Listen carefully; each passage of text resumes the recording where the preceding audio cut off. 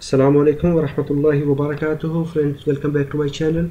If we have electronic board and the power IC is damaged it is burned out how we can trace the number of that IC and how we can find equivalent let's discuss. Basically one of my friend he is facing problem in LG outdoor air conditioner board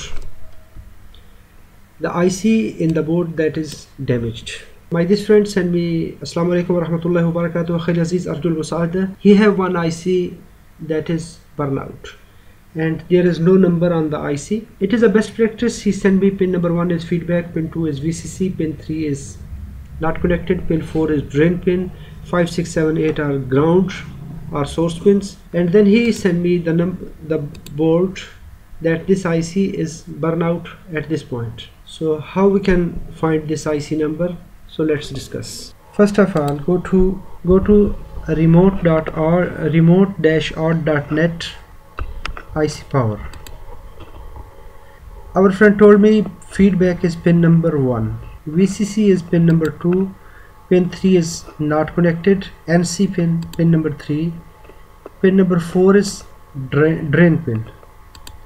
4 is drain 5 6 7 8 ground pin. Pin number 5 press shift 6 7 and 8 sort.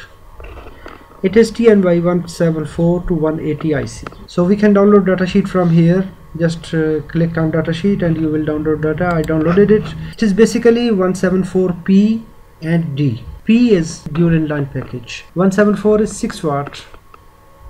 175 8 8.5 watt. So 180 is 20 watt and this complete family it have a same switching frequency and same pin out just only the power difference. P package that is DIP 8C D package that is SMD package. Small outline package pin 1 is enable pin. That is feedback pin it is connected to feedback pin optocoupler pin 2 is bypass or multifunction pin pin 3 not connected. Blank pin number 4 is drain. It is connected to transformer primary winding and these pins are connected to ground line. It is working at 132 kilohertz. So when we want to replace when we don't know any IC number so if you don't know the number of IC then we have to select the higher power rating. That is 20 watt.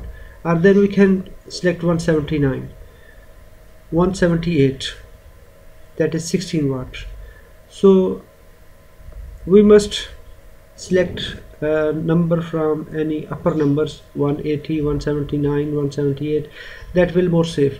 Even if we install 174p 175p so if we install a IC with low power might be will damage. So we have to install a upper number. So we have to select the higher power rating. That is more, far more safety so friends i hope so this video is informative for you. If it is informative give a thumb up. If you have any question let me know in the comment box. Thanks for watching. Assalamu alaikum warahmatullahi wabarakatuh